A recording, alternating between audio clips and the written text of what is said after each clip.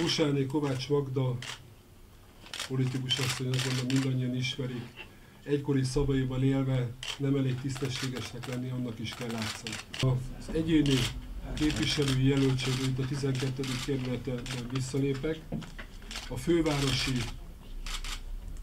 országgyűlési lista harmadik helyéről visszalépek, és visszaadom a fővárosi képviselői mandátumomat. Szeretném megerősíteni, hogy én semmi olyat nem tettem, ami a képviselői eskümmel ellentétes volt. A személyes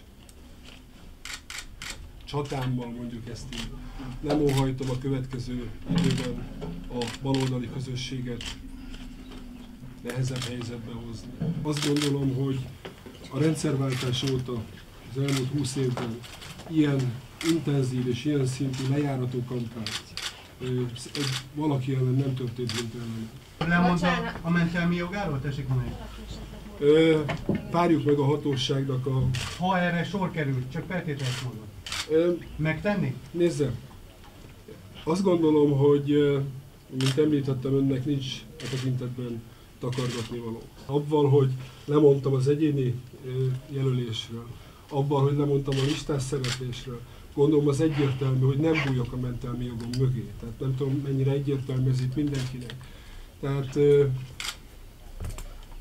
gondolom, hogy ez, ezt nem kell magyarázzam. Tehát az biztos a döntésem után, hogy nem leszek a következő parlamentnek sem egyéniben, amit a kerületben nehéz lett volna, és sem a fővárosi listáról képviselője. Nagyon szépen köszönöm.